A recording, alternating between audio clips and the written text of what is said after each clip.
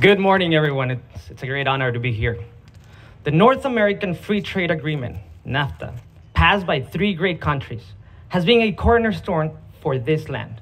Almost 9 million jobs in the US depend on trade and investment. Over $2.4 billion worth of goods and services cross the Mexico US Canada borders every single day.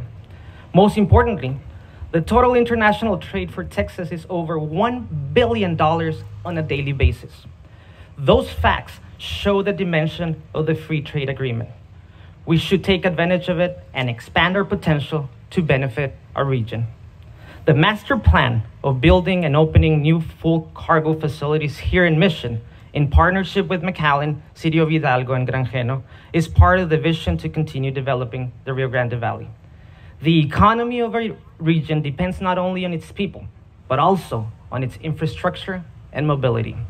With this project, our cities will be able to attract more industry, more businesses, and consequently, more jobs. With our vision and the partnership among the different cities, I anticipate that by 2050, we will have one of the best and biggest economies in Texas. The Valley is the land of the entrepreneurs. Our region and our people are ready for this and any other challenges to come. Let's do this together. Let's transform our context and bring more economy to our community. Thank you very much. God bless you.